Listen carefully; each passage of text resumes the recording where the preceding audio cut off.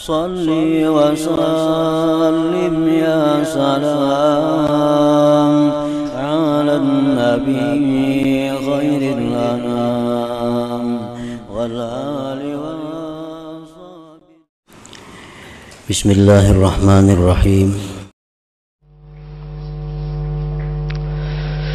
Nah bahayanya orang yang merasa lawas hidup dalam dunia Satu meninggalkan taat kepada Allah dan malas.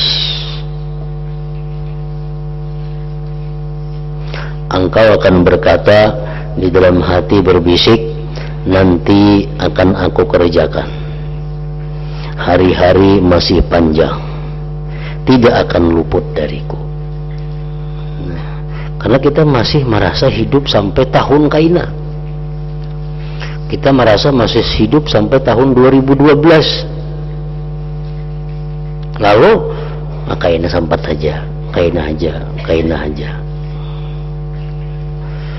Benar sekali apa yang dikatakan Daud At-Ta'i ketika mengatakan barang siapa takut ancaman Allah maka apa yang jauh menjadi dekat.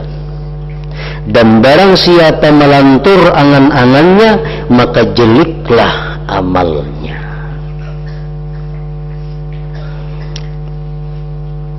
Rasulullah SAW menyuruh kita ujar Nabi kita bila ikan guring hendaklah wasiat engkau itu ada di bawah bantal engkau. Itu suruhan Nabi. Bila ikan guring tentunya malam guring kita ada wasiat di bawah bantal. Wasiat itu apa isinya? Memadahkan bahwa aku hutang lawan si Ano sekian aku hutang lawan si Ano sekian. Sepidak itu ampun si bulan sandal itu ampun si Ano ini ampun si Ano nah si Ano ada hutang lawan aku sekian wasiat-wasiat yang wajib diwasiatkan kepada yang tertinggal. Untuk menyelamatkan kita di akhirat. Kena kada tahu di rumah. Dikira sapi sepeda ampun sidin kayaknya injaman. Sepeda motor sandaan. Nah, jadi mesti ada dalam wasiat itu dijelaskan. Nah, jadi ujar Nabi bila engkau guring, wasiat itu ada. Ini menunjukkan apa? Bahwa begitu kita guring, belum tentu kita bisa bangun dalam keadaan hidup. Nah, jangan-jangan ini guring, salajur guring. Banyak orang yang salajur guring itu. Pengusaha puluh ada yang bangunan dibuka ke lambuk sekalinya guring bujur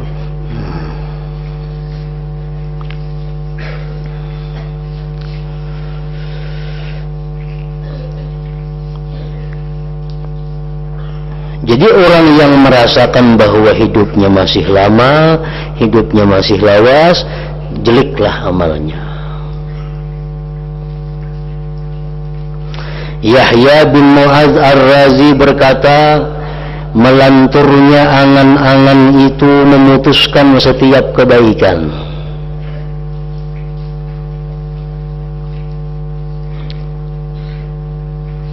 Melanturnya angan-angan itu memutuskan setiap kebaikan. Makanya kita nih diberitahu oleh Tuhan. Gitu Tuhan Jumat nah akan datang kematian semua kira-kira kalau lagi orang nangkap pasarnya? Kalau lagi orang nangkap perumahannya? Kalau lagi nangkap penerihannya? Gardu kosong.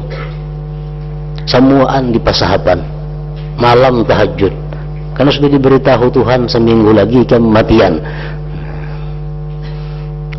Manusia akan bersiap-siap menghadapi itu. Seminggu apalagi isuk deh Tuhan itu mati. Misalkan bermakanan lagi hari ini.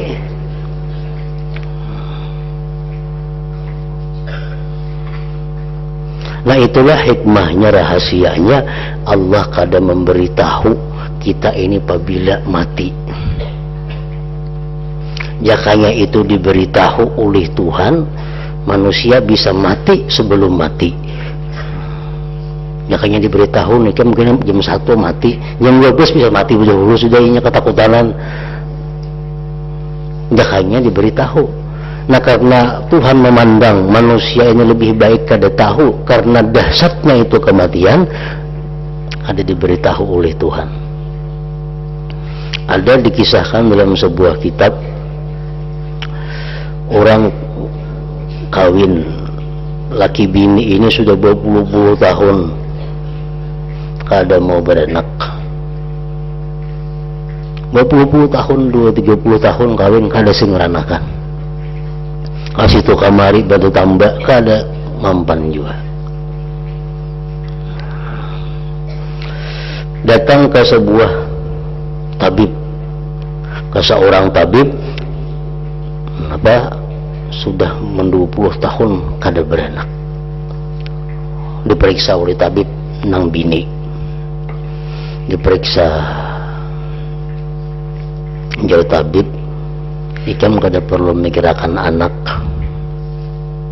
Kenapa? Aja nang bini-bini tadi. Ikam lagi tiga bulan mati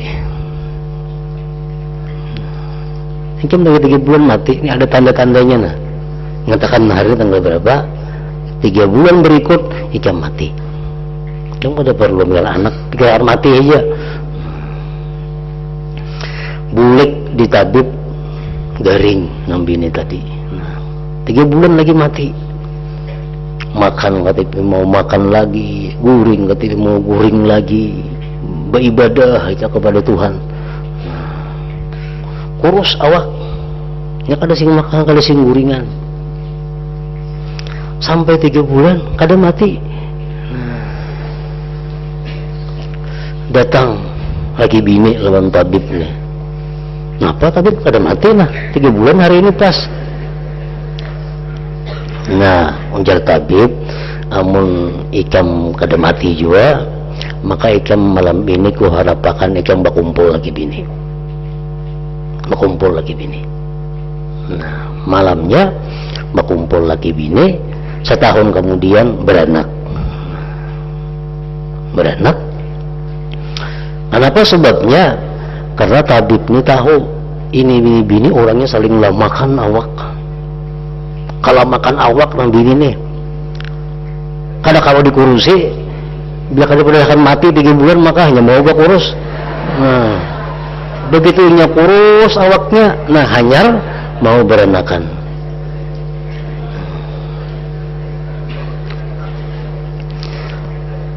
Nah jadi itu rahasianya bahwa Allah kadang memberitahu kita apabila mati itu.